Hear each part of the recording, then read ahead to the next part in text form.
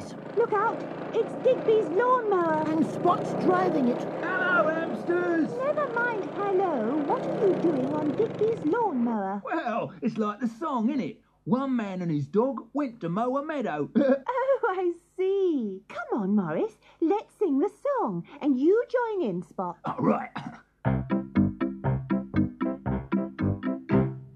One man went to mow, went to mow a meadow. One man and his dog went to mow a meadow. Two men went to mow, went to mow a meadow. Two men, one man and his dog went to mow a meadow. Three men went to mow, went to mow a meadow. Three men, two men, one man and his dog went to mow a meadow. Four men went to mow, went to mow a meadow.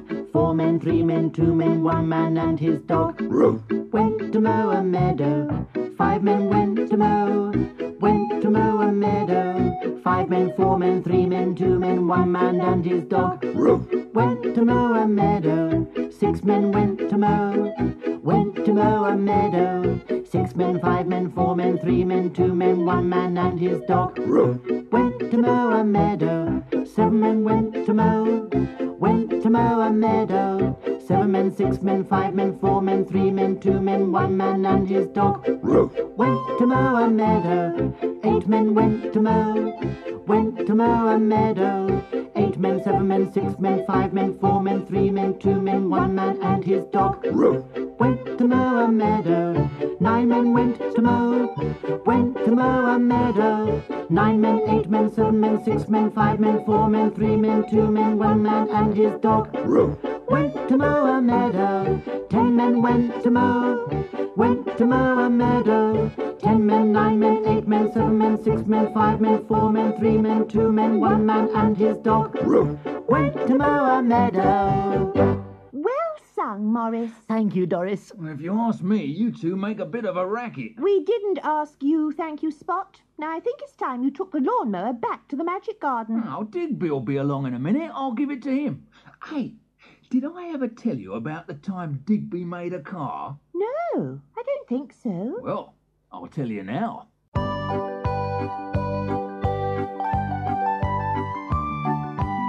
Digby's disappearing car. Bright sunny morning, I found myself all alone in the magic garden. Oh, good, I said to myself. No sign of Digby, no sign of Leroy. Now I can be naughty. In no time at all, I had dug up a row of carrots, six lettuces, and a small apple tree. I think I'll make myself a salad, I said. I'd just started munching on a carrot when Leroy appeared out of nowhere on his roller skates. Ha ha ha! he cried. Caught you! I was going to bark at Leroy, but suddenly there was a pop pop sound from the garden shed. Digby, is that you? I shouted. Yes, said Digby from inside the shed. But you can't come in. You'll have to wait. What is that robot up to? said Leroy. We waited and waited and waited. Then, suddenly, the door of the garden shed flew open and out came Digby in an enormous car. Look what I've made, he cried. Digby had used all his garden tools to make a car. He tied rakes and wire netting together and added the lawnmower as an engine. The four wheels and the steering wheel were flower pots, and the seats were orange boxes. One door handle was a trowel, and the other one was a fork. Aren't I clever? said Digby. I'll give up gardening and drive round and round Magic Mountain in my car. And off he drove without even offering me and Leroy a ride. Days and days went by, and there was no sign of Digby. All sorts of weeds started to grow in the magic garden flower beds. The grass was covered in old leaves, and the birds had a lovely time eating all the vegetables.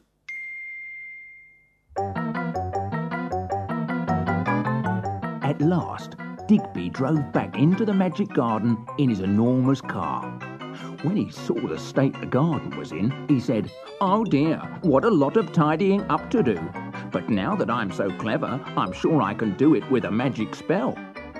Do the gardening, garden tools, and please remember Digby rules. With a great bang, Digby's car fell to pieces. All the garden tools he'd made it with flew off round the magic garden. The rake swept up the leaves, the lawnmower cut the grass, the fork and trowel dug up the weeds, and the wire netting covered the vegetables. Oh dear, cried Digby, my car. You're not as clever as you thought you were, said Leroy. Never mind, I chuckled. At least the magic garden's tidy again.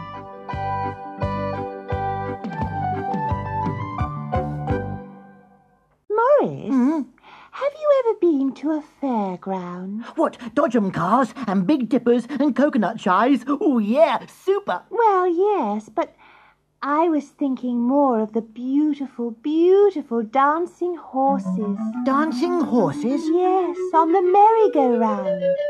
Roll up, roll up, bring your mums and dads and aunts. Hear the fairground music play as the horses leap and prance.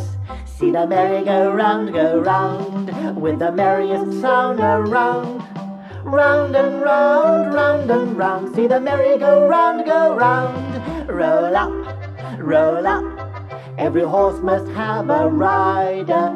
Dad, take this one, Mum, take that one. Auntie, come and sit beside her. See the merry-go-round go round with the merriest sound around. Round and round, round and round. See the merry-go-round go round. See the merry-go-round go round with the merriest sound around. Round and round, round and round. See the merry-go-round go round.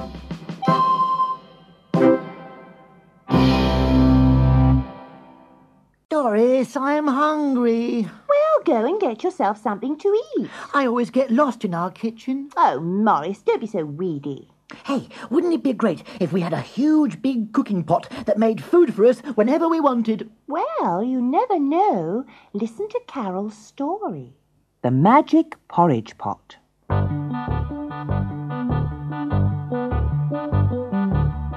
If there was one thing Lizzie disliked, it was porridge. It's lumpy and bumpy and so dull, she groaned. Then one year, the harvest failed, and everyone in the village where Lizzie lived began to run out of food. Before long, Lizzie looked into the larder and saw it was empty. Sadly, she scraped a spoon round her porridge bowl. Oh, if only I had some more, she said. Even porridge would taste nice now. Her mother hurried off to the shops. Sorry, no pies today, said Peter the pieman.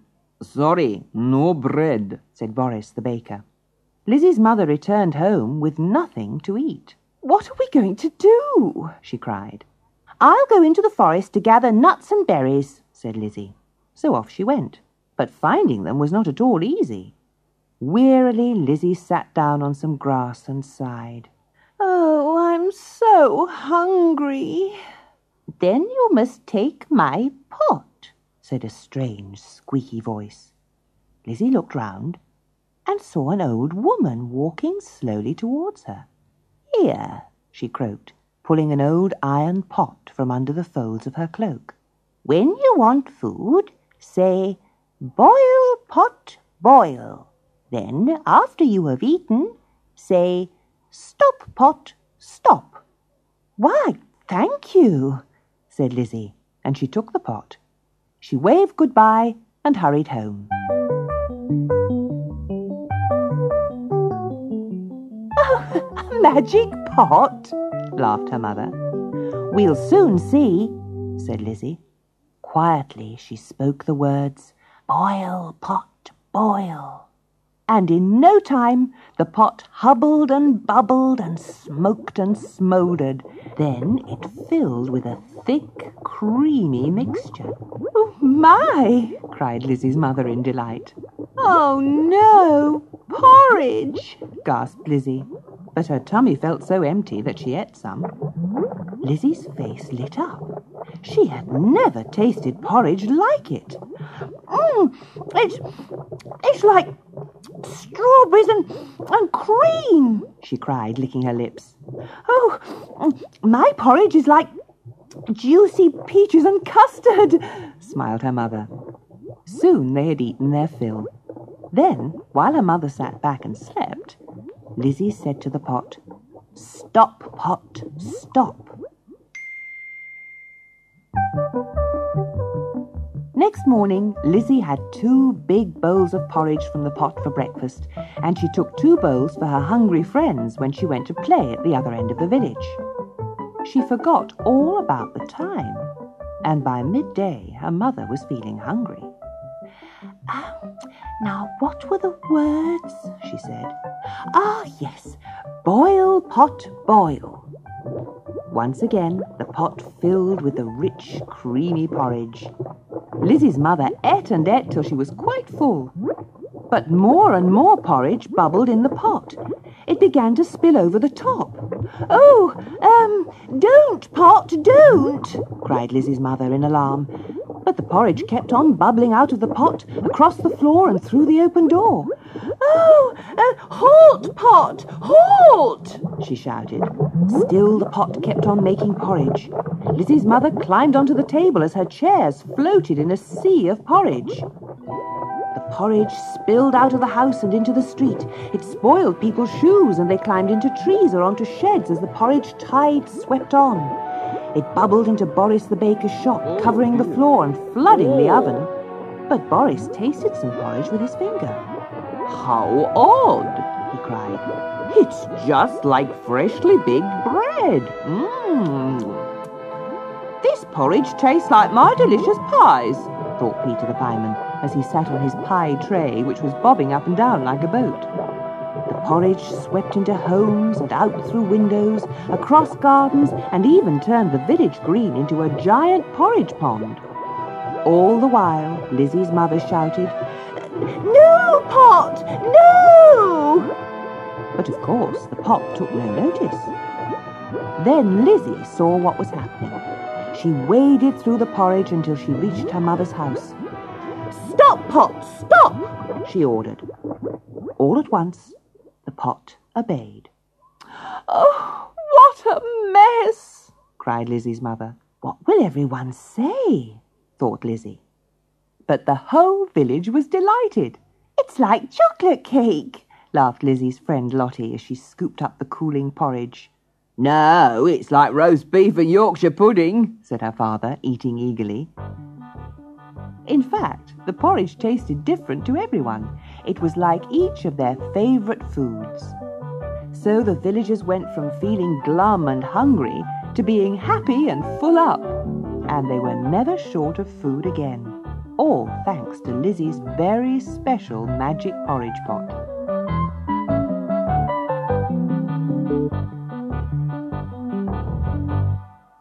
Hello, Doris. Oh, Spot, you frightened me.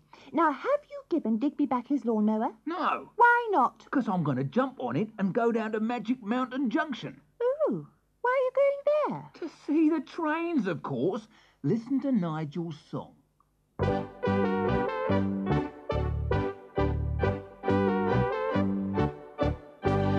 Down by the station early in the morning, see the little puffer billies all in a row.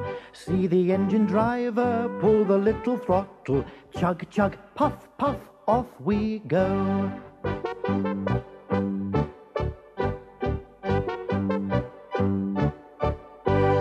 Down by the station early in the morning, see the little puffer billies all in a row. See the engine driver pull the little throttle, chug chug, puff puff, off we go.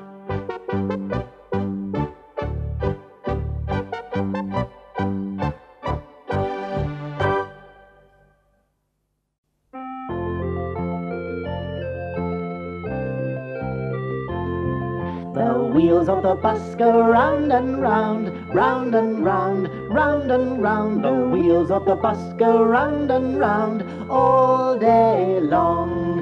The people on the bus stand up, sit down, stand up, sit down, stand up, sit down. The people on the bus stand up, sit down all day long. The conductor of the bus goes ting-a-ling-a-ling, ting-a-ling-a-ling, ting-a-ling-a-ling. The conductor of the bus goes ting-a-ling-a-ling all day long. The people at the stop shout, wait for me, wait for me, wait for me. The people at the stop shout, wait for me, all day long. The wheels of the bus go round and round, round and round, round and round. The wheels of the bus go round and round, all day long. The people on the bus stand up, sit down, stand up, sit down, stand up, sit down. The people on the bus stand up, sit down all day long. The conductor of the bus goes ting-a-ling-a-ling, ting-a-ling-a-ling, ting-a-ling-a-ling. The conductor of the bus goes ting-a-ling-a-ling all day long.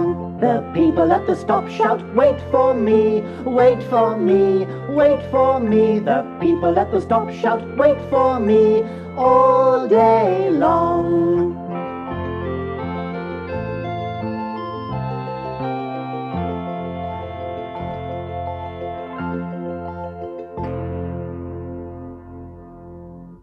Nighty night, Doris. What do you mean, nighty night? It's not bedtime yet. Um, it must be. Why? Because I'm yawning. Oh, don't be so daft. What you need is a waking up machine. What's a waking up machine? Listen to Nigel's story. The Waking Up Machine.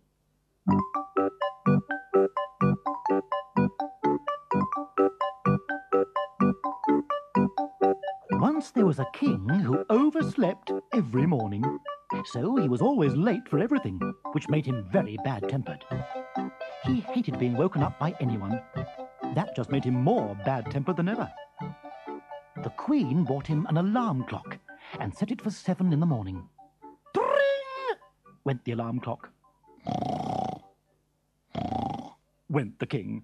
That's no good. sighed the Queen. She sent for the inventor. Make me a machine which will wake up the king every morning in a good mood. she ordered. I'll try, Your Majesty, mumbled the inventor.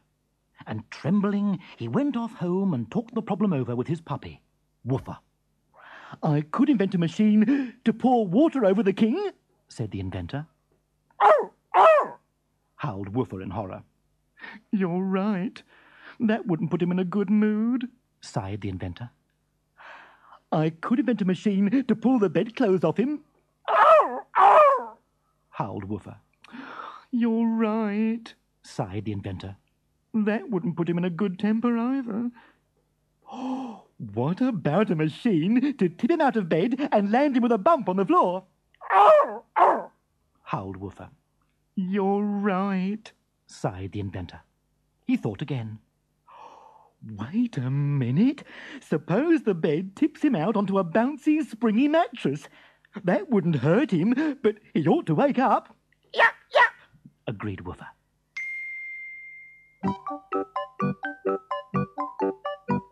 All day, the inventor worked hard. That evening, he and Woofer took the machine to the palace and fixed it to the king's bed. They put the springy mattress on the side away from the door so that the king wouldn't notice it. At a quarter to seven, the inventor and Woofer got up. They peeped through the king's bedroom window and waited. At seven o'clock, there was a great whirring of wheels and machinery. The king's bed began to tip. The king began to slide out of bed. Boing! He landed on the springy mattress. Boing! Up he went. Boing! Down he came. Boing! Boing! Boing! Oh, cried the inventor. he'll be hurt. He'll be very angry. But Boing, boing, boing. the king's bounces were getting smaller and smaller. Then.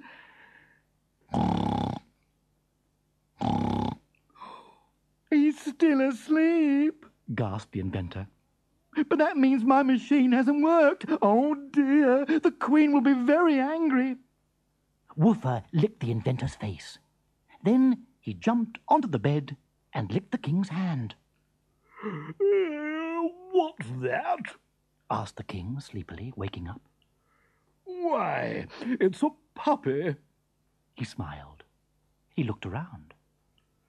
Why am I on the floor? he asked. By mistake, Your Majesty, said the inventor, hurrying forward. It won't happen again. Uh, what's the time? asked the king. Only just after seven, and I'm in a very good mood. This puppy must wake me every day. Well, said the inventor, you shall both live in the palace, promised the king. So that's what they did, and the king never overslept again.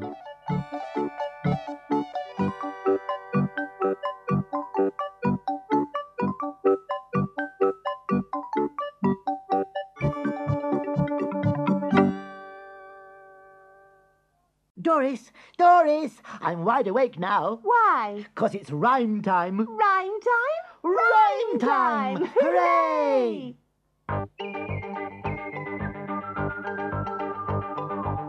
A noisy house. All around your house or flat, listen to the funny noise made by each machine you find. You can make them, girls and boys. In the kitchen, hear the fridge softly humming. Then it stops. Hum and hum and hum. Top, top. Busily freezing lollipops. Right beside it stands the mixer. How its whizzing noises linger. Whiz and whir and whiz whiz whir. When it ceases, mind your finger.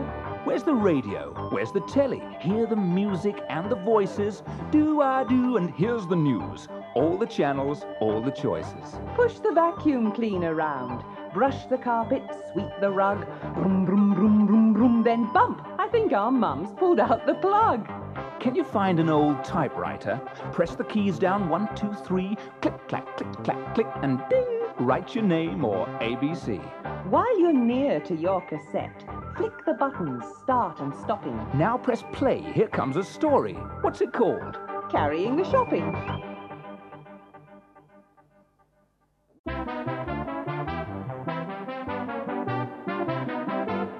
Once a week, Mr. Dixon went shopping. This wasn't easy because Mr. Dixon lived in a house at the top of a very big, green, grassy hill. There were no other houses on the hill, so there was no road, just a footpath.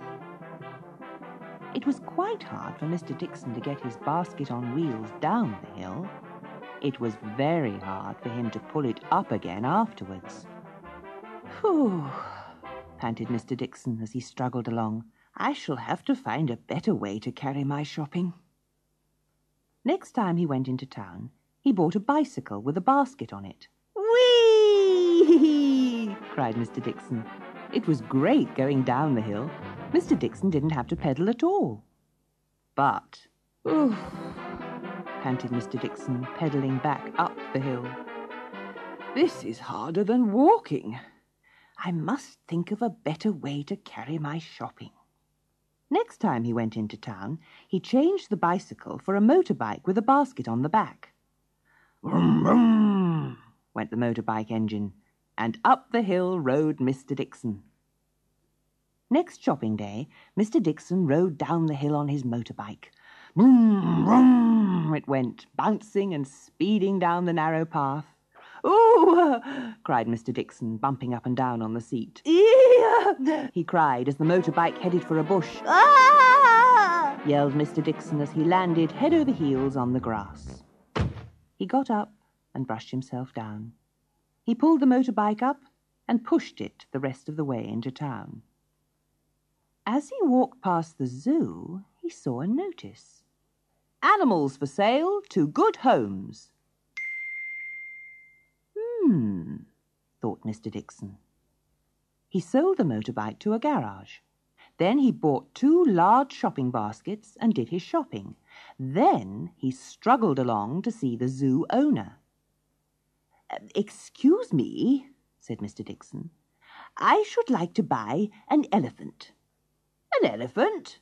cried the zoo owner. I'll give him a very good home, promised Mr. Dixon.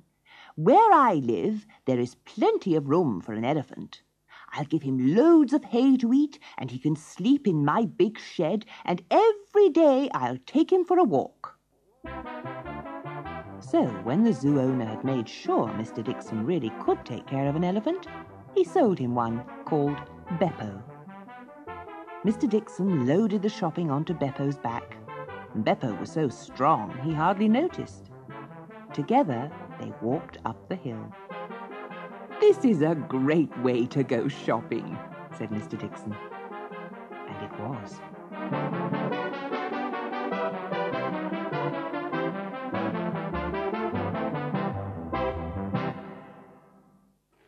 Look, Morris, it's Leroy the lion. Hello, Leroy. Hello, you two. Where have you been? I've been to the Magic Mountain Rink. It's a big dip in the ground where you can practice roller skating all day long. Oh. But I don't roller skate. Oh, well, you should, Morris. Neither do I. Well, you should, Doris. You really should. Listen to my song.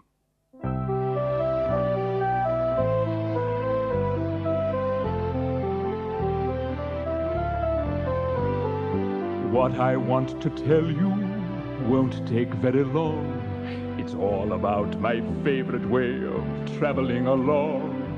Roller skates, yes, roller skates are what I really mean. My shoes with wheels are so ideal, I can't stop singing this song. I'd like to state the feeling's great. Your feet vibrate, your wheels rotate at such a rate. You're never late for any date. So please don't wait. Just start to skate, to roller, roller skate. I'd like to state the feeling's great. Your feet vibrate, your wheels rotate at such a rate. You're never late for any date. So please don't wait. Just start to skate, to roller, roller skate. Yes! Goodbye. Goodbye, everybody. Bye. Goodbye. Bye. Bye. Bye.